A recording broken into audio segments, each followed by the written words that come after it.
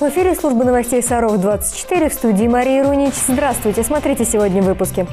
Стратегия 2035 молодежь города обсудила важнейший документ по развитию региона. Вдохновение творчеством в городском музее открылась персональная выставка молодого художника. Большой спортивный праздник. Что ждет саровчан на Дне физкультурника? Далее расскажем обо всем подробно. В администрации прошла встреча с участниками общественной организации ветеранов воздушно-десантных войск. Гвардейцы крылатой пехоты не только вспоминали о службе в армии, но и поделились с главой администрации планами на будущее. Обсудили проблему военно-патриотического воспитания молодежи в нашем городе и пригласили Алексея Голубева посетить полевой лагерь для подростков «Разведчик». На оставшем уже традиционном приеме в администрации ветерану ВДВ вручили юбилейные медали «100 лет Советской армии» от Нижегородского регионального отделения Союза десантников России. Да. Спасибо. России, ВДВ. Тем для разговора с главой администрации нашлось много. Десантники задавали вопросы о возрождении в Сарове добровольного общества содействия армии и флоту, обсуждали реконструкцию детского парка на Сосино и создание там патриотической зоны. В непринужденной беседе ветераны воспользовались возможностью задать и личные вопросы и получили конструктивные ответы. К другим новостям. Стратегия развития Нижегородской области до 2035 года. Этот важный для региона документ уже не раз обсуждался чиновниками и представителями бизнеса. Пришло время и молодому поколению внести в него свои предложения и поправки. В здании администрации прошла встреча Общественного молодежного совета при главе города с представителями различных объединений. Ребята не только обсудили проект, но и подготовили свои идеи, которые будут представлены исполняющим обязанности губернатора области Глебу Никитину. Стратегия 2035 – это основополагающий документ, от которого зависит, как будет развиваться Нижегородская область в ближайшие десятки лет. Цель стратегии – улучшить качество жизни в регионе, а значит, в ее создании должны принимать участие все слои населения. К разработке проекта привлекают не только экспертные организации, но и всех, кто проявляет активную жизненную позицию. Губернатор реально заинтересован в предложениях которые могут поступать от и руководства, и от э, депутатских собраний, депутатских, городских дум, от администраций, просто от людей. И вот очень хорошо, что сегодня вот молодежь тоже в этом смысле сегодня здесь собралась. В проекте представлено 9 направлений, которые охватывают все сферы жизни населения. Первое посвящено продолжительности жизни и здоровью. В разделе «Физкультура и спорт» особое внимание уделяется вопросам управления объектами, которые были построены к Мундиалю, и созданию площадок для воркаута. И если первый прямого отношения к нашему городу не имеет, то второй в последнее время стал особо актуальным. И у активистов движения воркаута в нашем городе появились конкретные предложения. Хотелось бы новую площадку. Я был с резиновым покрытием, как вот на Поймере писать побольше. Вот там просто идеально площадь. После небольшой дискуссии было принято решение прописать конкретные предложения, как должны выглядеть зоны для занятий этим уличным спортом и направить их губернатору. После участники молодежного совета при главе города перешли к более глобальным вопросам, а именно программе строительства фоков в районах. Готовы и по концессионной схеме его строить.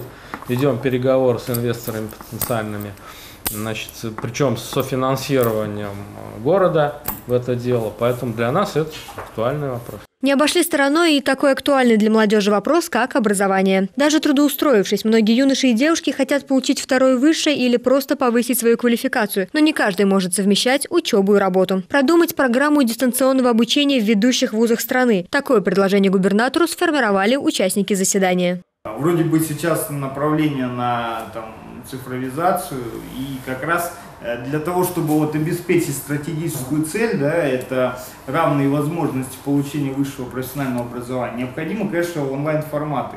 Предложений было много, и все они занесены в протокол и будут представлены и рассмотрены на стратегической сессии, которая пройдет 16 августа в Нижнем Новгороде. У вас тоже еще есть время повлиять на будущее нашего региона. Стратегии посвящен интернет-портал, на котором каждый желающий сможет ознакомиться с проектом, задать вопросы и внести свои предложения. Мария Рунч, Владимир Лисик, Сергей Рябов. Служба новостей. Саров 24. Школа-интернат номер 9 стала лауреатом Всероссийского конкурса «Гражданин и патриот России-2018». Он проходил в июле в рамках Невской образовательной ассамблеи в Санкт-Петербурге. На суд жюри саровчане представили результативный педагогический опыт, эффективные методы работы с воспитанниками в области духовно-нравственного воспитания и сохранения традиций духовной культуры.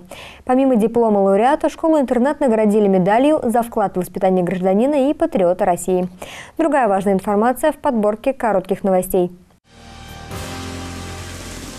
В Сарове стартовал прием заявлений на сентябрьскую сдачу ЕГЭ. Документы будут принимать до 20 августа. Экзамены пройдут по двум обязательным для выпускников предметам – математике базового уровня и русскому языку. Напомним, в сентябре ЕГЭ сдают ребята, которые не прошли государственную итоговую аттестацию после 11 класса или получили неудовлетворительный результат по одному или двум обязательным предметам, в том числе и в прошлые годы. Все подробности по телефону 955 20.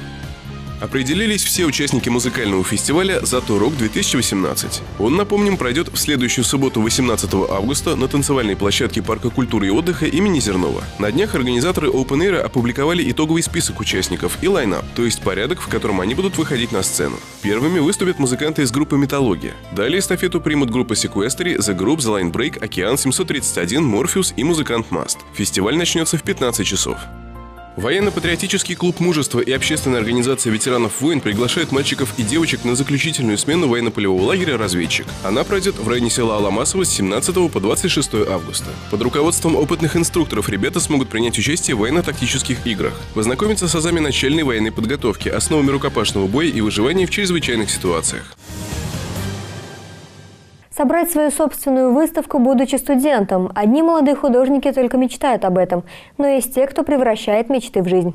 Выпускник Саровской детской художественной школы, а сейчас второкурсник Санкт-Петербургского государственного академического института живописи имени Репина Анатолий Стрелков открыл в городском музее персональную выставку. В экспозиции академический рисунок, живопись, архитектурная графика. Подробности далее. В основу экспозиции легли по большей части студенческие работы Анатолия Стрелкова. Все то, что он писал на занятиях, сегодня сегодня может оценить саровский зритель. К выставке художник шел долго. Идея ее создания родилась у него еще в годы учебы в художественной школе. И вот, наконец, воплотилась в жизнь. И не случайно именно в Сарове.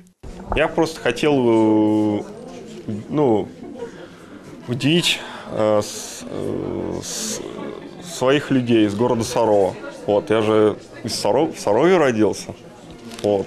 Э, Поэтому хочу, чтобы вы меня поддержали. На выставке Анатолий представил более 40 работ. Академический рисунок, живопись, графика. Среди картин художник особо выделяет две – «Спуск в воде» и «Отмывка архитектурного элемента». О них он рассказывает гостям лично, а еще делится секретами успеха. Нужен труд, то есть э, и старание. То есть ну, это как бы тяжело, но если постепенно все делать, э, как бы двигаться к цели – то есть неважно, если не получилось, то можно попробовать в другой раз. Впереди у Анатолия годы учебы и десятки новых картин, так что он еще не раз порадует саровского зрителя своими персональными выставками. Летом невозможно скучать. Ежегодно в самые длинные школьные каникулы на различных площадках нашего города для юных саровчан проходят игровые и познавательные программы. Продолжает свою работу и научная лаборатория открытий. Занятия, которые здесь проходят, призваны привлечь подрастающее поколение к изучению научной литературы. Темой очередной встречи в рамках летнего проекта стало знакомство с одной из самых востребованных технических профессий. Работа людей этой профессии не из легких. Они разбираются в устройстве различных машин, создают чертежи новых аппаратов, а затем с помощью рабочих воплощают их в жизнь. Они трудятся на фабриках, заводах, стройках, в сельском и лесном хозяйствах. Читатели библиотеки имени Пушкина познакомились с одной из самых востребованных технических профессий. Мы будем говорить о такой профессии, как инженер, что большое количество различных специальностей у инженерной профессии. Попробуем какие-то навыки освоить инженерной профессии. Но и обязательно будет мастер-класс в конце, где мы научимся читать схемы, по схеме сделать какую-то поделку. В этой профессии оказалось более 200 специальностей. Есть инженеры, которые разбираются в работе станков, другие в машинах, третьи в медицинской аппаратуре. А в рамках научной лаборатории открытий ребятам предстояло попробовать себя в роли инженера-дизайнера. Юные читатели придумывали, как создать одежду из подручных средств. После занятия многие даже решили связать свое будущее с этой профессией. Больше всего мне понравился инженер-дизайнер. Он создает красивую одежду, и меня это очень привлекло. Мне захотелось стать инженером-дизайнером. То, что, потому что он столько красивого может создать, интересного. Следующее занятие пройдет уже 15 августа в 14 часов в Большом зале библиотеки имени Пушкина. Приглашают всех желающих. На этот раз организаторы подготовят для гостей программу под названием «Наука о крыльях». В здоровом теле здоровый дух. Таков девиз тех, кто выбрал спорт своим образом жизни. Ежегодно в августе в нашей стране отмечается День физкультурника. Праздник берет свое начало в Советском Союзе. По традиции в этот день во всех городах страны проходят спортивные соревнования, показательные выступления и эстафеты.